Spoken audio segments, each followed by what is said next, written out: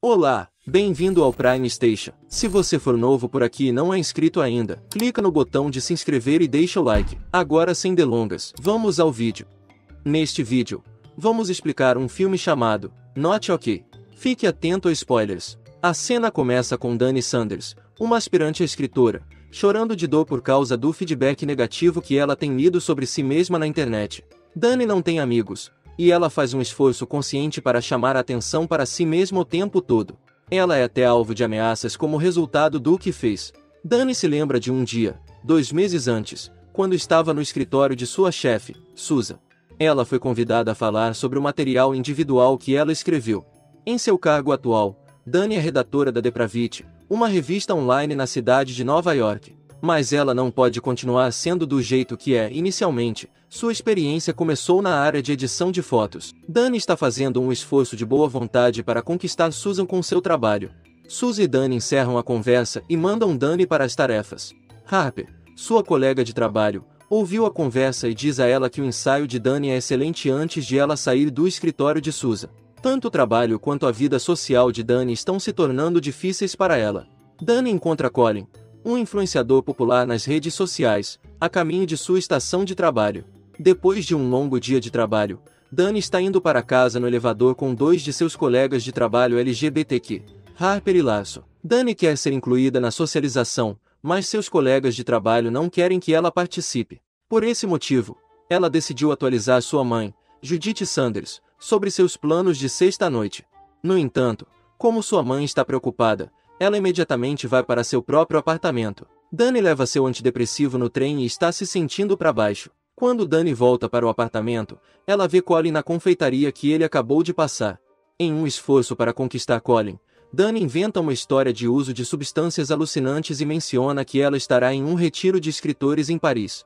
Quando Dani chega em casa, ela finalmente é capaz de compreender o quão bagunçada sua vida se tornou como resultado direto das muitas mentiras que ela para contar a Colin. Além disso, o brinquedo com o qual ela se divertiu ainda não decolou, então ela ainda está de bom humor. Dani está checando o Instagram de Colin na tentativa de planejar sua própria fuga para a Cidade das Luzes. Ela está pensando em pedir ajuda financeira aos pais devido ao alto custo da passagem de ida e volta. A cobaia de Dani bate nas teclas de seu laptop, expondo algumas de suas fotos editadas. Então, ela decide modificar algumas imagens para que pareça que ela está em Paris quando não estava. Dani liga para Susan para ver se ela pode fazer um retiro de escrita para Paris, mas Susan não está interessada na ideia. Dani liga para seus pais para informá-los sobre seu retiro planejado. Ela chega a ponto de criar um site falso sobre o evento completo com seu próprio nome na lista de convidados. Ela tira fotos em todos os cantos e recantos da cidade de Nova York e documenta meticulosamente seu tempo em Paris. Na semana seguinte, Dani fica em seu apartamento no Brooklyn enquanto compartilha imagens falsas de si mesma em Paris.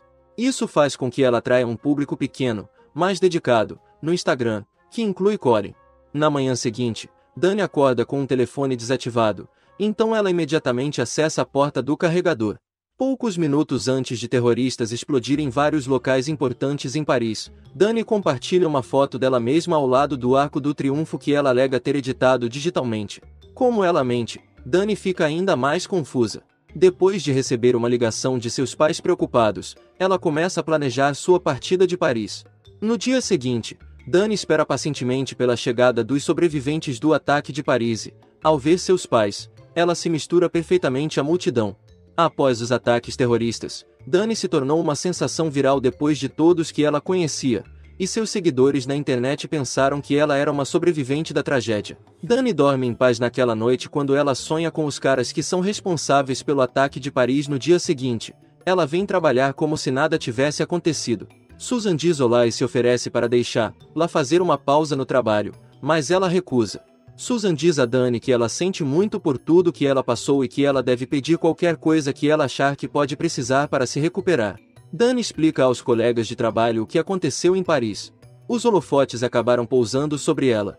Colin vem na tentativa de ajudá-la a lidar com o trauma. Dani tenta descrever sua experiência em Paris em seu apartamento, mas não consegue pois todos os seus pensamentos são mentiras. Sua mãe sugere que ela participe de uma sessão de grupo de apoio para sobreviventes de ataques à bomba, então ela o faz. No dia seguinte, ela participa da sessão e conhece algumas vítimas, incluindo Rovan Alden, uma ativista anti-armas e sobrevivente de tiroteio na escola, que também tem muitos seguidores nas redes sociais. Nesta história falsa, Dani afirma ter sido vítima de um ataque terrorista. Como resultado, Dani tem um plano brilhante para entrar em contato com Rova e continuar escrevendo sobre sua experiência. Rova e Dani se encontram inicialmente no parque, onde Dani tira fotos de suas postagens editadas. Rovan acha que eles deveriam dar um passeio e falar sobre o artigo em outra área para salvar Dani do trauma que ela está passando.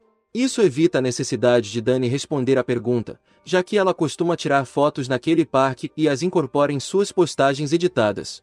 Rovan leva Dani para um lugar onde eles podem liberar todo o ódio e raiva que tem. Rovan pressiona Dani a deixar de lado toda a angústia que ela sofreu como resultado da experiência traumática, mas Dani não consegue sentir nada pois essas histórias são todas criações dela. Dani já tinha um plano de como ela vai escrever a peça naquele momento, para escrever com o coração dela sendo honesto. Mas ainda assim, nenhuma verdade será revelada, pois, novamente, são todas mentiras. Este artigo, que inclui a hashtag hashtag Amnotokai, se torna viral, o que imediatamente coloca Dani na linha de frente dos olhos do público. Não demorou muito para que o artigo se tornasse viral em seu círculo de colegas de trabalho, nas mídias sociais e entre aqueles que a veem como uma sobrevivente, incluindo Rova. A conexão de Dani e Rova evoluiu para o tipo de irmãos ao longo de um período de tempo. Enquanto isso, Suzy em seu escritório elogia o artigo de Dani sobre o quão bem é feito. Rova envia a ela uma mensagem de texto convidando-a para vir no sábado para o treino de softball, mas Colin finalmente notou Dani e até a convida para uma festa noturna de influenciadores. Harper fala sobre o artigo de Dani e tem a oportunidade de questioná-la sobre o assunto. Mesmo no dia do ataque, Harper faz perguntas específicas sobre o retiro do escritor que Dani participou. O fato de Dani não estar preparada para responder a todas as perguntas de Harper levou a última a suspeitar que Dani está inventando algumas de suas histórias. Dani toma a decisão de participar da festa que Colin está dando em vez do jogo de futebol do qual seu grupo de apoio está participando. Ela se torna instantaneamente famosa durante a festa. Depois de um curto, mais desagradável momento íntimo com Colin em sua noite, Dani decide que ser uma pessoa legal é mais importante para ela do que o estilo de vida de celebridade que ela sempre imaginou.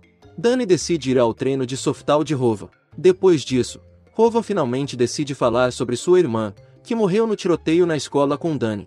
Dani, por outro lado, parece estar indo muito bem desde o dia de sua experiência. Até um programa de televisão pediu que ela aparecesse nele. Quando Dani consegue seu próprio escritório, isso causa algum ciúme da parte de Harper. Harper tenta contornar a popularidade de Dani. Infelizmente, Dani deixou o laptop no escritório e esqueceu de levá-lo para casa. Como resultado dos esforços de Rova, Dani foi convidado a dividir o palco em um próximo rally. A caminho do rally, Rova está nervoso e Dani tenta elevar a atmosfera tocando uma música de Avril Lavigne. No comício, Rova e Dani recebem calorosas boas-vindas dos participantes. No entanto, Rova está tendo um ataque de pânico e vai ao hospital enquanto os contramanifestantes começam a disparar fogos de artifício. Dani tem problemas para estar lá para Rova, já que ela continua tendo alucinações sobre o Homem-Bomba de Paris. No dia seguinte, a colega de trabalho suspeita de Dani Harper descobre a mentira e oferece a ela um ultimato, ou seja honesto sobre os termos de Dani revelando-se como uma mentirosa, ou ela contará ao mundo sobre o golpe que Dani fez o mundo acreditar ao publicar um artigo. Dessa forma, Harper poderia ter uma grande chance em sua carreira como escritora. No final, Dani decide publicar um artigo explicando a verdade e viver com as consequências de suas mentiras. Dani chega cedo ao seu local de trabalho para concluir o artigo, o que deixa o resto do mundo chocado. Como consequência direta de suas ações, sua vida rapidamente começou a sair do controle. Ela é demitida de seu emprego, Rova deserdou, é forçada a voltar a morar com seus pais, recebe ameaças de morte e exclui suas contas de mídia social. Um mês depois, Dani finalmente vai a um novo grupo de apoio para vítimas de vergonha na internet, onde ela está sendo aconselhada a pedir desculpas às pessoas que ela ofendeu. Um discurso que Rovan fez no qual ela critica Dani e sua conduta é recebido com aclamação da multidão, e Dani se sente satisfeita com isso. Depois de chegar à conclusão que pedir desculpas seria mais para seu benefício pessoal do que para o de Rova, portanto, Dani deixa o teatro de maneira furtiva.